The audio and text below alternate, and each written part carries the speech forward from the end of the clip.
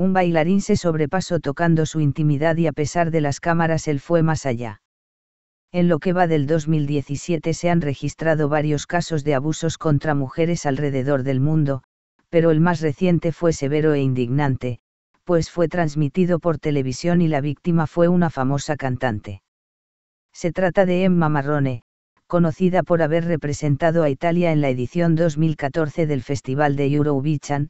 quien fue exhibida con un vídeo en YouTube donde muestran cómo un bailarín se sobrepasó con ella y tocó su intimidad en los ensayos del show de TV Amici di María de Filippi.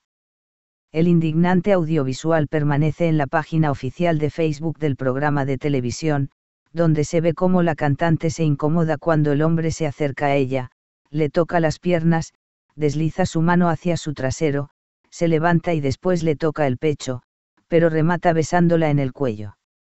En el clip se escuchan algunas carcajadas mientras el tipo la manosea indebidamente, a la vista de todos.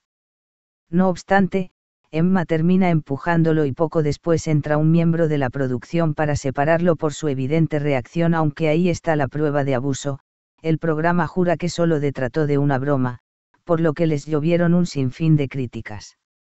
No te olvides darle me gusta, comenta, comparte, suscríbete para participar del sorteo y ganar premios, sígueme en mis redes sociales si deseas que te mandemos un saludo en las siguientes noticias comparte los vídeos y los cinco primeros saldrán en el próximo vídeo.